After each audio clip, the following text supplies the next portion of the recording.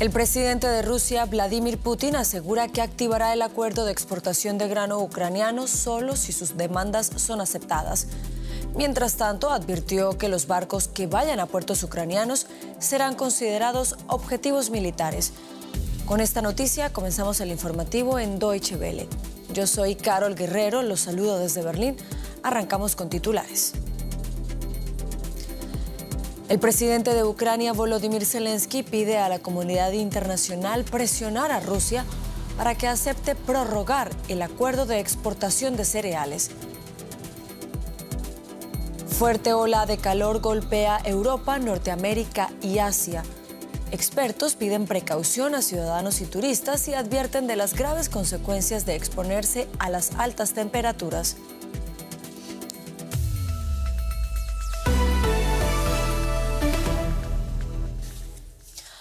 Rusia bombardeó las terminales de grano ucraniano en Odessa y Chornomorsk luego de abandonar el acuerdo para la exportación de cereal auspiciado por Turquía y la ONU. Moscú incluso advirtió que considerará a todos los barcos que se dirijan a puertos ucranianos a través del Mar Negro posibles transportistas de cargamento militar y, por tanto, potenciales objetivos militares, un anuncio que complica el deseo de Ucrania de mantener la exportación de cereal como fuente de ingresos. Samsung es el último barco que transportará productos agrícolas de Ucrania al resto del mundo. Moscú ha prohibido su exportación y advirtió que la seguridad en el Mar Negro no estará garantizada. El Kremlin ha advertido del peligro de las exportaciones marítimas sin autorización rusa. Las zonas de combate están muy próximas. Existe cierto riesgo allí. El bloqueo afecta sobre todo a la población de África Oriental, Afganistán o Yemen. El Programa Mundial de Alimentos de la ONU advierte de que una menor exportación de cereales desde Ucrania causará escasez y el aumento de los precios en todo el mundo. Esto significa que nos esperan decisiones muy difíciles. ¿A quién le daremos medias raciones? ¿A quién no? La respuesta debería ser a ninguno. Son decisiones desgarradoras que mis colegas tienen que decidir sobre el terreno. El último cargamento de Samsung es de 15.000 toneladas de colza con destino a Holanda, principal comprador de Ucrania. Sus principales compradores son China, seguida de España y Turquía. Solo estos tres países importan la mitad del grano ucraniano. El presidente ucraniano Zelensky se propone exportar más sin la aprobación rusa. Según la ONU, es una ilusión. ¿Qué compañías de transporte están dispuestas a asumir semejante riesgo y cuáles de seguros garantizan a los mercantes que cruzan zonas de guerra? Cuando el Samsung abandonó el Mar Negro, la ciudad portuaria de Odessa sufrió ataques rusos durante la noche. Y a propósito de Odessa, los ataques de este miércoles por parte de las tropas rusas se registran por segundo día consecutivo. Ha sido un bombardeo contra 14 misiles, perdón, con 14 misiles contra infraestructuras críticas y militares en esa región. Según la Fuerza Aérea Ucraniana, los misiles rusos lanzados contra el puerto de Odessa alcanzaron una terminal dedicada a la exportación de cereales y también infraestructura portuaria usada para exportar combustible. Incendios descontrolados en Crimea. Según la Agencia Estatal de Noticias de Rusia, este video muestra un depósito de municiones ruso en llamas. Las autoridades rusas dijeron que el fuego se había desatado en una zona de entrenamiento militar.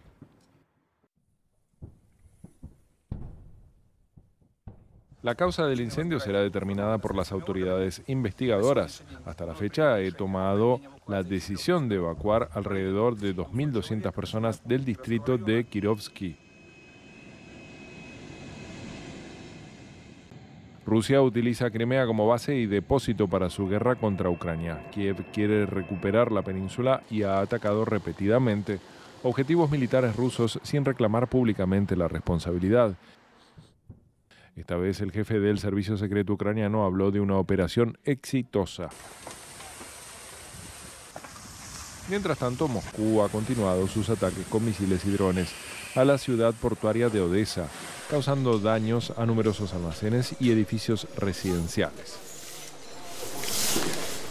Por suerte no estaba durmiendo, vivo en el primer piso. Vi un destello rojo en la ventana y reaccioné de inmediato. En el momento en que caí al suelo detrás de la cama, todas las ventanas estallaron. Bajé las escaleras, había ruido y humo afuera. La gente estaba en pánico, algunos lloraban. Había esquirlas de vidrio por todas partes. Volví a casa para hacer panqueques. Caminé sobre las esquirlas de vidrio en mi apartamento. El Ministerio de Defensa de Rusia confirmó que durante la noche atacó objetivos militares e industriales en Odessa, así como depósitos de combustible y municiones. Y ya nos acompaña Juliana González, lo que quiere decir que es momento de pasar a la información económica. Juliana, ¿con qué vamos? Con la inflación, Carol, que es un tema que preocupa los bolsillos de todos los consumidores alrededor del mundo y hoy además es una jornada de datos inflacionarios, porque tanto la Unión Europea como el Reino Unido dieron a conocer los índices de incremento de precios. En el continente, el dato del 5,5% anual muestra un retroceso comparado con el valor previo, pero la inflación subyacente mostró un crecimiento que preocupa a los economistas. En Gran Bretaña el caso es diferente porque el retroceso de la inflación general y subyacente es claro, respondiendo a las acciones de un Banco Central de Inglaterra que ha subido ya 13 veces los tipos de interés desde finales de 2021, pero se mantiene en un nivel de casi el 8% anual un valor que casi triplica, por ejemplo, el nivel de inflación de los Estados Unidos. Y para conocer más detalles sobre estos datos, nos vamos, por supuesto, hasta Frankfurt para conversar con nuestro colega en la bolsa, Ezequiel Daray. Hola, Ezequiel, te saludo con mucho gusto. Comencemos por el dato de la Unión Europea. ¿Cómo podemos interpretar estos números y por qué cuesta tanto bajar la inflación subyacente? Bueno, Juliana, eh, como vemos, por un lado, no, ya no le podemos achacar la inflación a los costos de la energía por la guerra. De hecho, eh, desde que ha comenzado el año, el costo del gas se ha reducido un 60% y así toda la inflación no termina de ceder. La inflación núcleo, la inflación subyacente que excluye a la energía, sigue muy alta. Todo indica que el Banco Central Europeo comenzó muy tarde con la subida de tipos, más tarde que el Banco Central de Inglaterra, más tarde que la Fed. Eh, y hay un excedente todavía de dinero, de todo el dinero emitido durante la pandemia, que ha exacerbado la demanda. Por otro lado, tuvimos mucho shock de ofertas, la, propia pandemia, la guerra, la sequía, y esto hace que una oferta y demanda desequilibrada mantengan una inflación muy elevada. El Banco Central está trabajando sobre eso ahora sí, con una política muy restrictiva, intentando enfriar un poco la demanda para darle tiempo a la oferta que llegue a equilibrar, y también le está pidiendo a los gobiernos de cada uno de los países que reduzcan los estímulos fiscales, que traten de alinearse con el propio Banco Central de forma de justamente darle tiempo a que la oferta llegue a equilibrar la demanda. Esto creo va a llevar más tiempo del que habían pensado en un comienzo. Sin duda, Ezequiel, le hablemos ahora de ese otro fenómeno, Reino Unido. El Banco Central de Inglaterra se ha mostrado mucho más agresivo con la subida de tipos. ¿Cómo se explica que la inflación retroceda, pero siga en niveles tan elevados?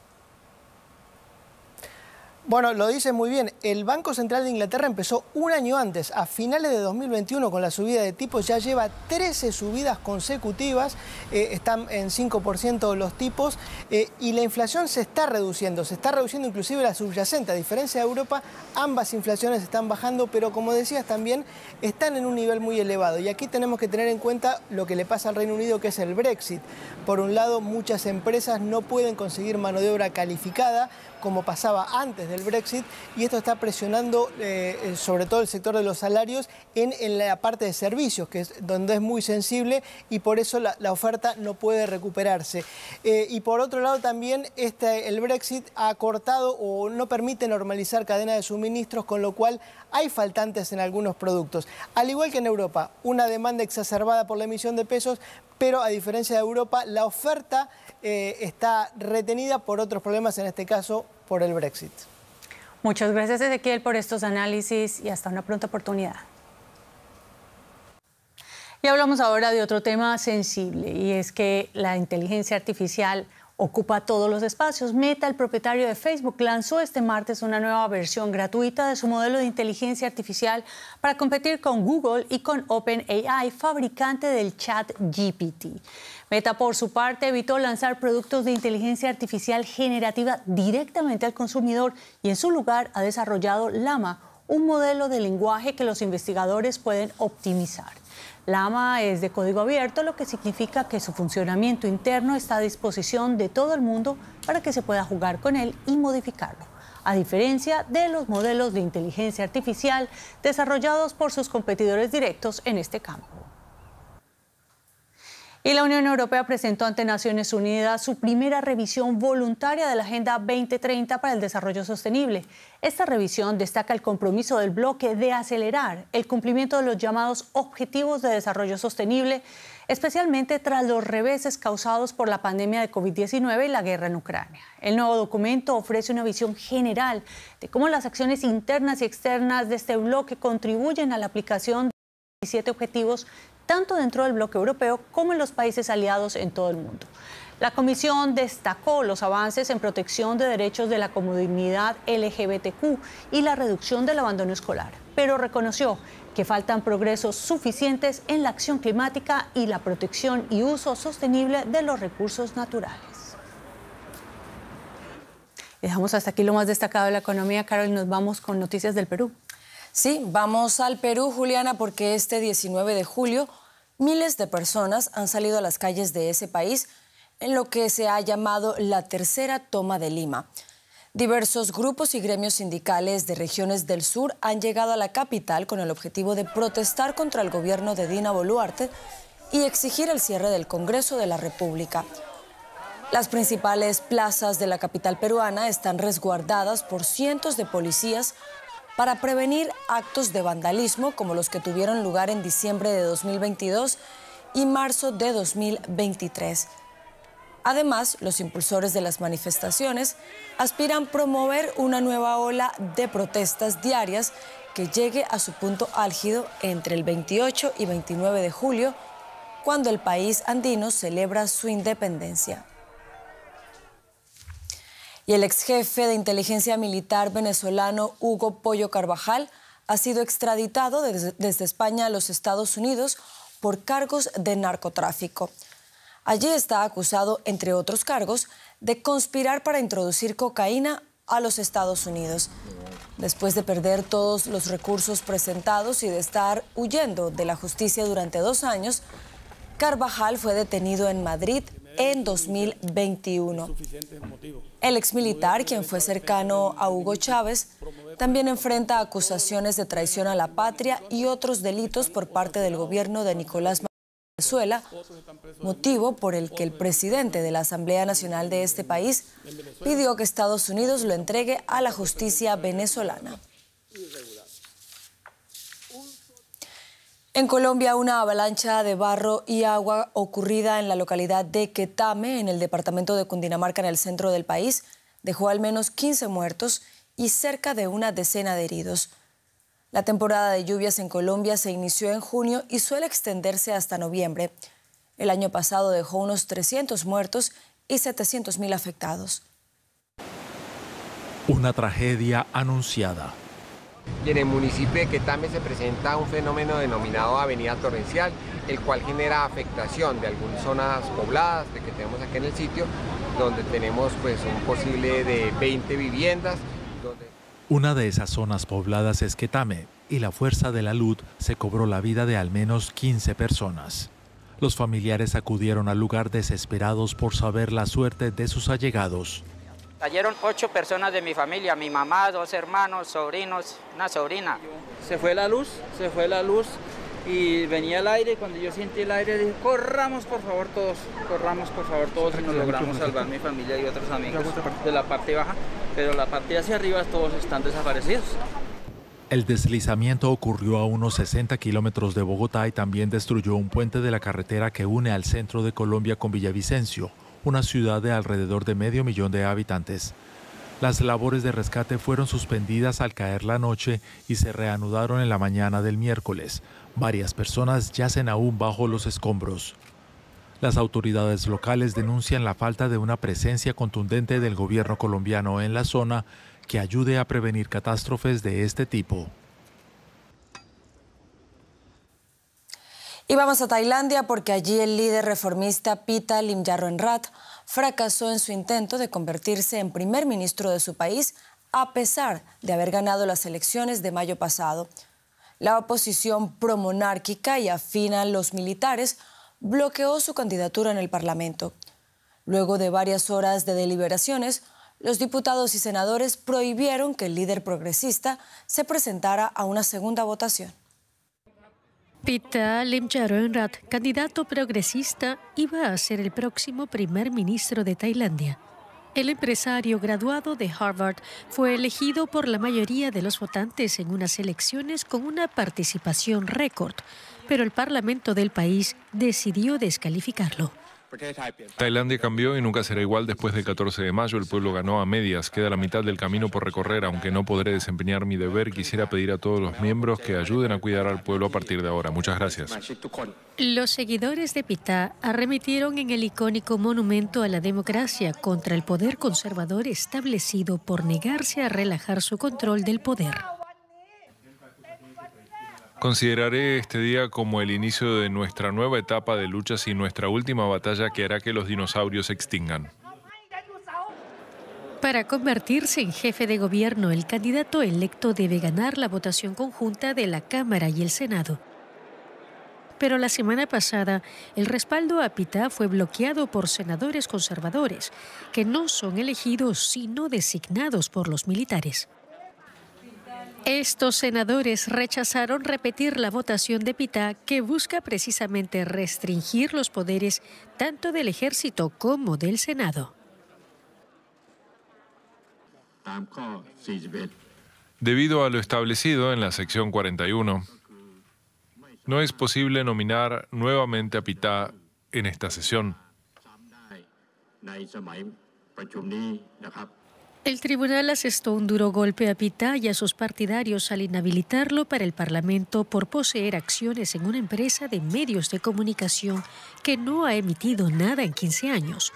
Muchos en Tailandia desean poner fin a una batalla de dos décadas por el control entre los partidos electos y el poder militar. Estados Unidos cree que el soldado estadounidense que cruzó la frontera de Corea del Sur a Corea del Norte fue detenido por Pyongyang.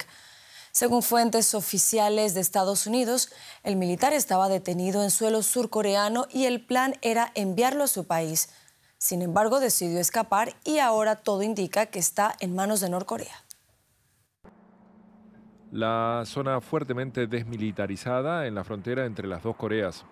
Aquí un soldado estadounidense identificado como Travis King hacía un recorrido fronterizo cuando cruzó a Corea del Norte.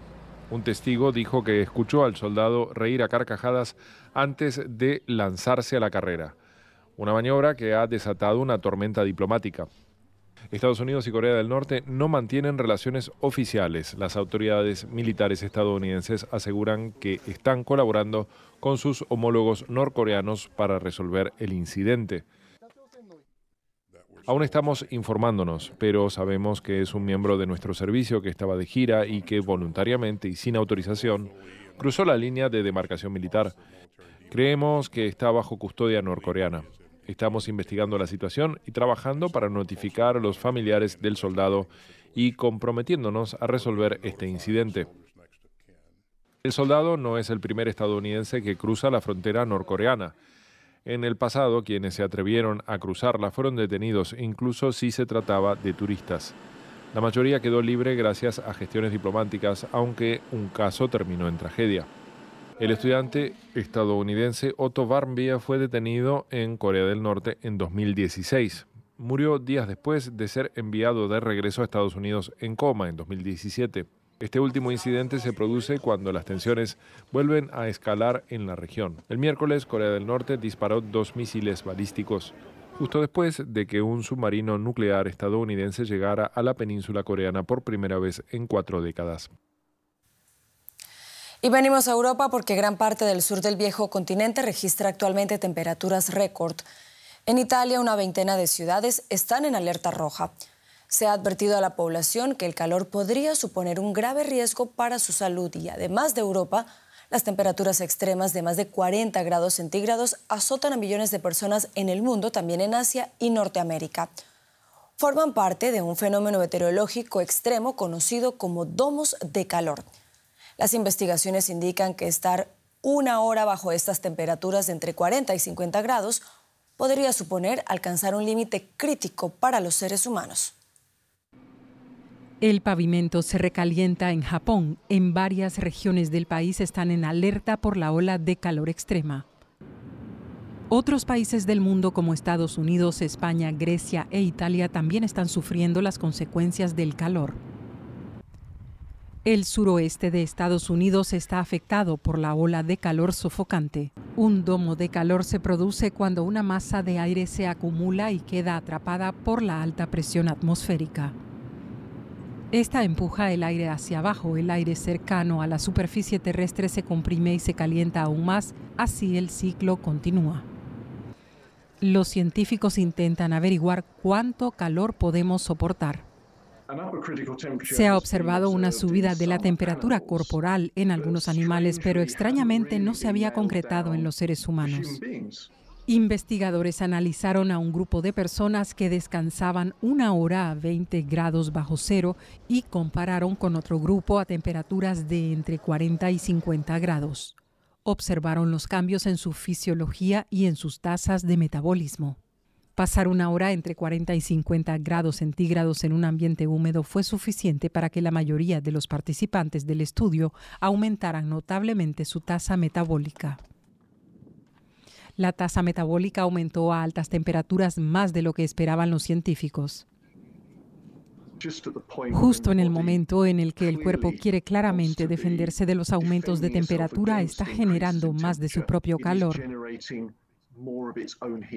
Los investigadores están trabajando para averiguar si este pico es peligroso.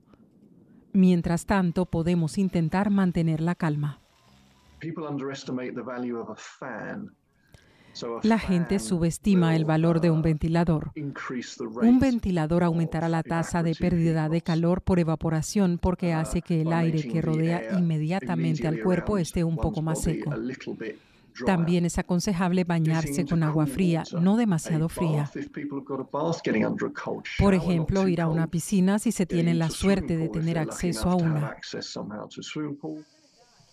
Estas personas en Montenegro ya siguen esta recomendación. Y vamos al deporte porque este jueves arranca el Mundial de Fútbol Femenino Nueva Zelanda. Uno de los países anfitriones junto a Australia confía en lograr su primera victoria contra la poderosa Noruega en el partido inaugural del campeonato. Deutsche Welle conversó con varias jugadoras de la selección y con un líder tribal maorí antes del inicio del torneo. Son la atracción del momento. La selección femenina de fútbol de Nueva Zelanda se prepara para debutar como anfitriona de la Copa Mundial. Antes del primer partido comparten un momento con la nueva generación. La cantidad de niños que están aquí, ver las sonrisas en sus rostros, el hecho de participar y pasar un rato con ellos. Es estupendo compartir este momento con estos jóvenes. El equipo también compartió con otras jugadoras del torneo la tradicional bienvenida maori conocida como Povhiri.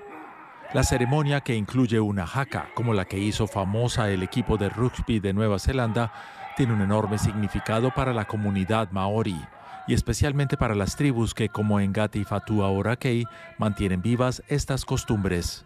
Creemos que es importante promover la cultura indígena, la cultura maorí de Nueva Zelanda. Es importante aferrarnos a ella, la conservamos y la compartimos con el mundo.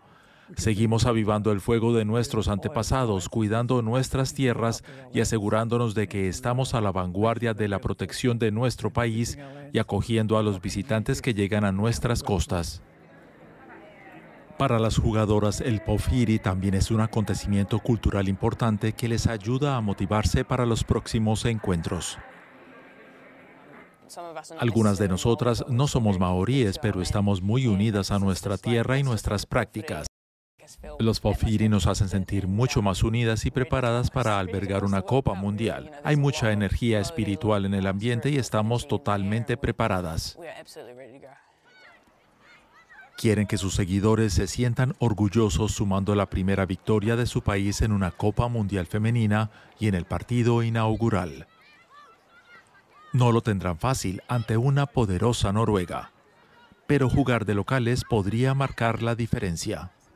En el Mundial puede pasar cualquier cosa. Noruega es la favorita, pero si queremos hacerlo, este es el momento, en casa, en Nueva Zelanda. Es el momento y el lugar. La ciudad de Auckland está lista para la cita de Nueva Zelanda con el destino. Y con esto llegamos al final del informativo. Sigan conectados a Deutsche Welle. Los espero con más noticias en menos de una hora.